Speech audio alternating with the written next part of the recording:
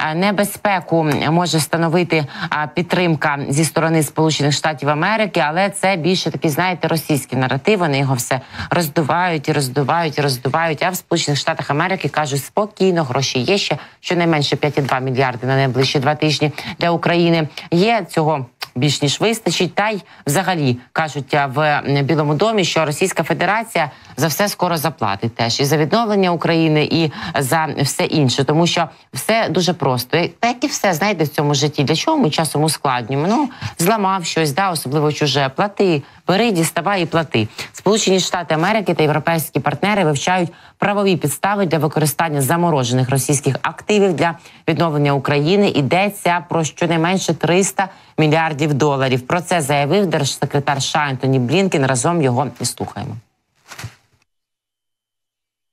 На мою думку, якщо ти щось зламав, то плати. Якщо росіяни зламали, вони повинні за це заплатити. І один із способів це зробити саме через ці активи. Ми повинні переконатися, що для цього є юридична база. Як я зазначив, оскільки більшість цих активів в Європі, європейці також повинні бути переконані, що для цього існує юридична основа. Якщо дозволити Росії робити те, що воно робить з Україною без покарання, це пошле сигнал у всьому світі країнам, які збираються почати агресію, що їм це зійде з рук. Це відкриття ящика Пандори з конфліктами. Нікому не буде добре в цьому світі, світі конфлікту й агресії пришвидшити ось цей процес, а не думати ще про якісь російські е, блага економічні або якісь фінансові взаємини з Російською Федерацією, закликає представників країн цивілізованого світу. І Тімоті Еш, це британський економіст і експерт з питань України. Він каже, давно би якби конфіс конфіскували і не 300, а оті всі 400 мільярдів і відправляли їх, то то і гроші платників податків не треба було би так сильно чіпати і думати, там та чи, чи якось е, чи втомилися хтось від України, чи не втомився. Ось є, є країна-терорист, країна-агресор. Хай вона віддає, віддає і платить за те, що вона робить. Бо завжди словами прости господи, класика на виході є чек, і по ньому треба платити. Правильно, так от і Тімоті Еш каже, що останні кілька днів вони демонструють, що певні труднощі і нюанси, з якими стикається захід, продовжуючи повністю фінансувати Україну під час війни, щоб забезпечити її перемогу. Вони все таки є. І питання подальшого вже відновлення України. Воно теж з порядку денного не зникає, тому що як ми з вами бачимо, як бачать мешканці звільнених деокупованих міст, сіл і містечок, що відновлення після руйнування Російської Федерації воно просто відбувається таки на очах. Ну воно ж не просто так на це все треба гроші. От хай і заплатить Путін і його це оточення. Що каже Тімоті Еш, яку він пропонує концепцію повернення і конфіскації російських активів, розмороження їх і передачі Україні. Давайте разом і почуємо.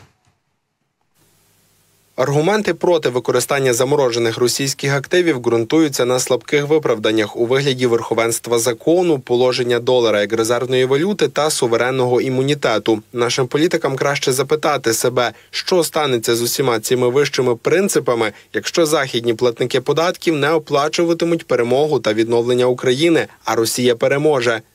Насправді побоювання з приводу верховенства права в Угорщині вже тихо відкинуті. Насправді я думаю, той факт, що наші політики вважають за краще використовувати гроші західних платників податків для підтримки України, захищаючи при цьому заморожені російські активи майже за будь-яку ціну, має стати справжнім скандалом. Схоже, що майнові права агресора цінуються більше ніж права жертви, та й взагалі права платників податків або виборців західних держав, які підтримують Україну. Закони мають бути змінені, якщо буде потрібно, але зробити це необхідно швидко, щоб 400 мільярдів доларів заморожених, насправді здебільшого лише імобілізованих російських активів були використані для того, щоб допомогти Україні виграти цю війну і здобути мир. В іншому разі Україна програє, а західна ліберальна ринкова демократія опиниться перед обличчям найбільшої загрози з часів Другої світової війни. Нашим політикам необхідно прокинутися і усвідомити те, що вони часто ігнорували. І пошвидше треба прокинутися і не ігнорувати, тому що російська агресія вона триває. Росія щоночі атакує Україну дронами, ракетами. А Росія буде і продовжить про це говорять і представники української розвідки, та всі ті, хто розуміються на незмінній тактиці Російської терористичної федерації, що чекає осінь і зима на нас теж на превеликий жаль непрості. Ми готуємося до того, що будуть атаки росіян по енергетичній інфраструктурі. Та сьогоднішня ніч не обійшлася. Звісно, на превеликий жаль без обстрілів. У ніч на 5 жовтня російські загарбники вчергово атакували Україну дронами камікадзе. Випустили 29 шахедів, 24 з них збили. Юрій Ігнат, речник повітряних сил збройних сил України, повідомляє про те, що в принципі тактика була незмінна.